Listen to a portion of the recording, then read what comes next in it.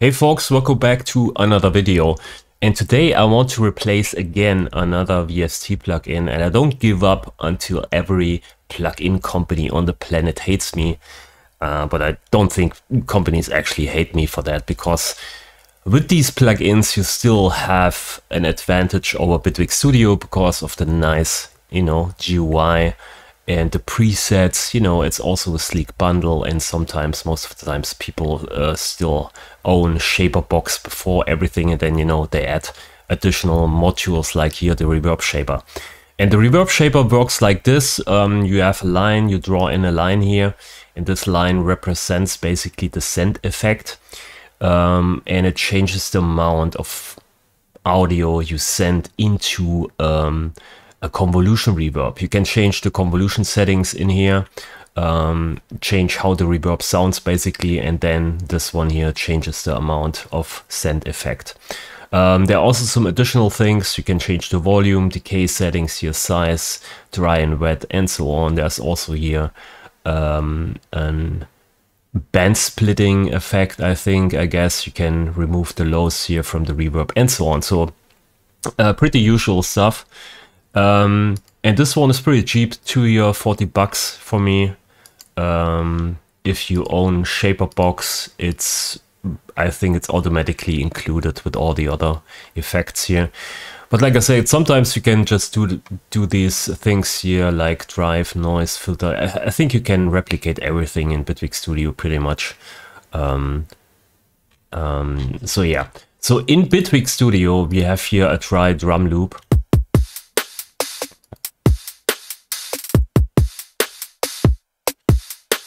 So first idea is of course you put a convolution reverb on that.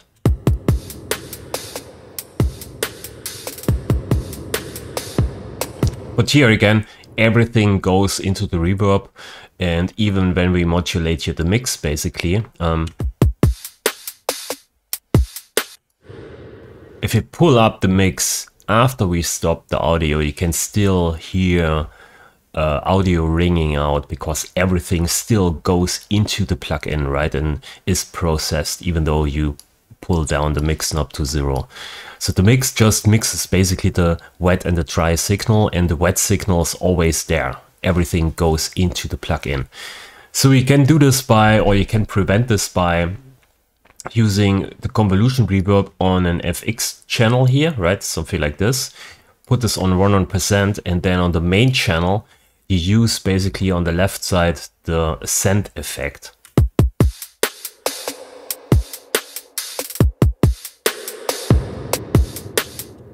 So this is something you can do. Um, so you automate or you can use then a curve modulator and maybe modulate this here on a on the project panel, right? Use a curves modulator here and then uh, just modulate this. Um, this is something you can do but I don't like to use here FX uh, return channels most of the times. So what I do is I just put the spec here onto the main channel uh, where we where we have the drum loop, and on here I keep the mix at 100%, and I add one chain device, which is just an, a simple container here. Put this convolution into the chain device, and inside of the chain device, in front of the convolution reverb, I use a tool device. And here I pull down the volume to zero. So now we basically cut off the convolution reverb from the audio input, right? You can't hear anything uh, because the audio goes into the chain. The chain itself is mixed 100% and here basically the tool device cuts off all the audio. So we go here to 30%. So we can still hear the dry signal and we can use now a curve modulator here. Uh, put this into uh, groove mode, uh, unipolar mode, then one bar, right click, reset. And then we want to feed basically the snare into the reverb, right? So we modulate here the tool um, with that. And now we feed basically only the snare into the reverb, right?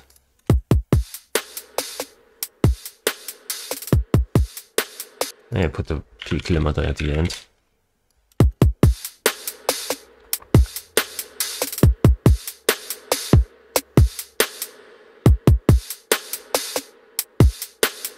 You can see every time the snare comes in, we open up here the tool device and the tool device then pushes the audio into the convolution reverb.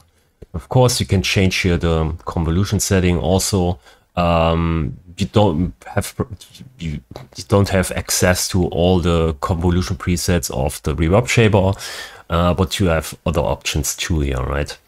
Um, so this is something you can do. It's uh, it's an easy setup, um, and if you just put the tool device here and duplicate this here, um, let's put this here.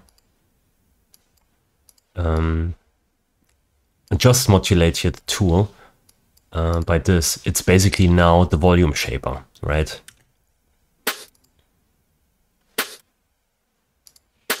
Maybe put this here into 8.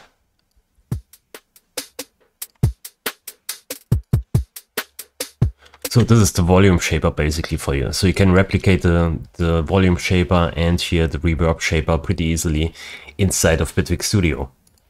Another thing you can do, um, let me just remove this here again, um, is if you use Delay Plus device um, and put this here into this free delay time mode, 100%, um, we don't need blurring here. let's see how this sounds.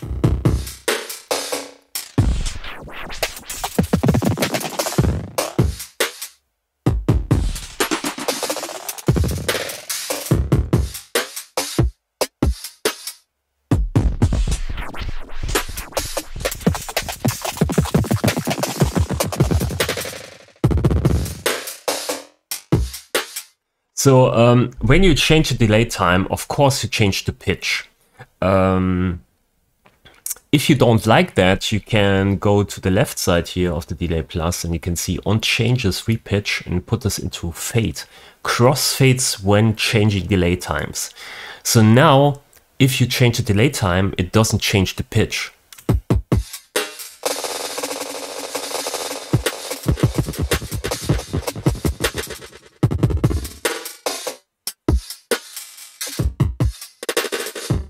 So now if you use a curve module here on that, modulator, curve modulator, groove, unipolar, uh, the bar, reset, and put this maybe into 8.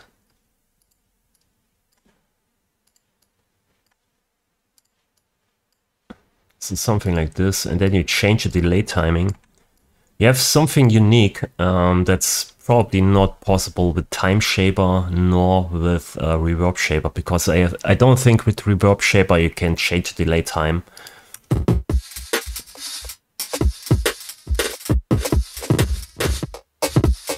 So it's also kind of a unique effect without, you know, having the having the pitch changed over time.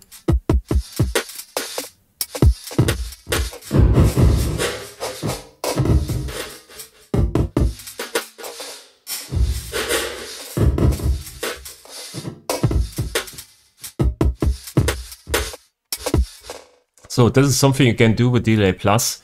Um, put here this into fade mode. Um, you can also leave it in repitch if you like the effect. That's more like a turntable scratch effect.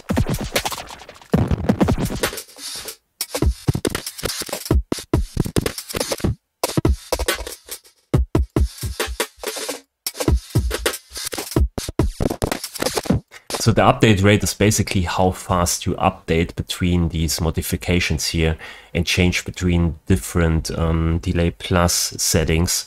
Um, so you can play around here with the update rate. It has also an effect sometimes on the sound.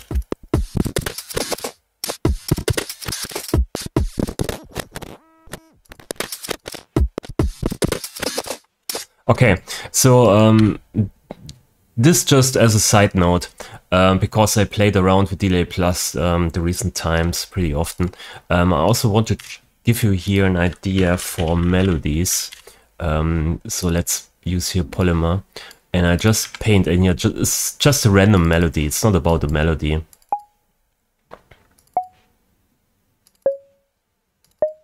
Something like that. And we put a lot of reverb on that, so it sounds a bit nicer. And maybe a delay. So we have this melody. Ah,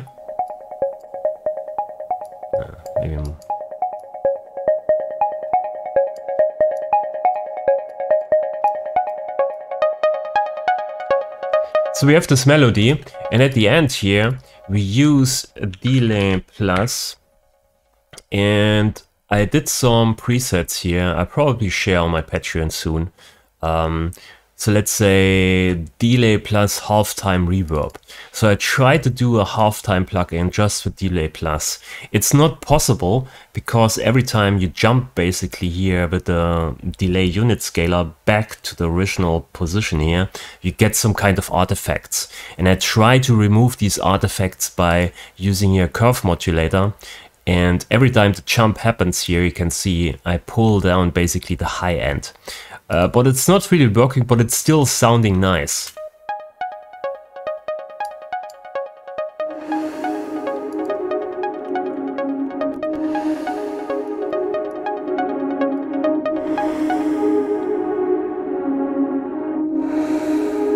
You can hear it sounds one octave lower, it's pitched down one octave lower.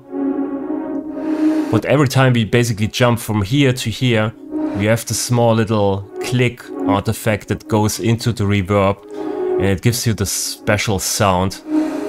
But I kinda like it sometimes, but it's not really clean actually.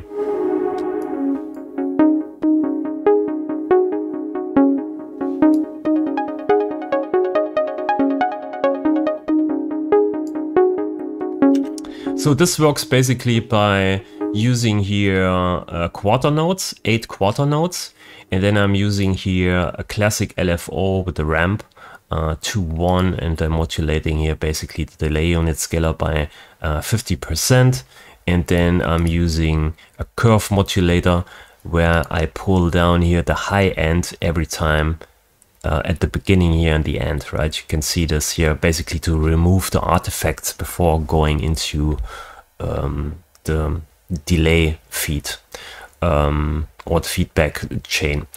Okay, so um, this is basically something I want to show you. I put these presets probably on my um, Patreon, I think. Um, there's also double time, half time. Um, yeah, that's basically half time. This, this is just without having the blur amount here. But it does basically the same. You can hear the effect, right? The, the glitch here.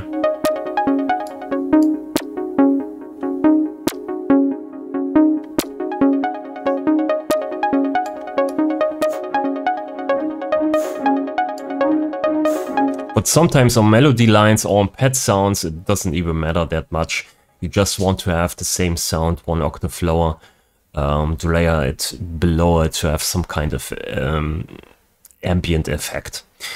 Um, yeah, so like I showed you, you can replicate basically the reverb shaper uh, from Cableguys pretty easily inside of Bitwig Studio uh, just with a chain device, a tool device and a convolution reverb. And you can use delay plus um, in the fade mode also with some curve modulations and um, modify time and delay time and uh, reverb time and create some interesting effects with that. Uh, and I think it's not possible with the reverb shaper. I, I, I haven't actually bought this and I haven't tried it out, but I think you can also, you only can change your basically the send effect. I'm not sure, maybe you can change the, the decay time here. And I think there's also something like when you go down with the volume of the reverb, it chokes the the feedback or it um, clears the feedback buffer or something like that. That's not really possible with Bitwig. Uh, but maybe give this here a try. I think there's probably a trial version up on the website. Um, I put the link in the description so no one is uh, actually angry on me. Um, that's it for this video. Thanks for watching. Leave a like if you liked the video, subscribe to the channel, and I see you in the next video. Bye.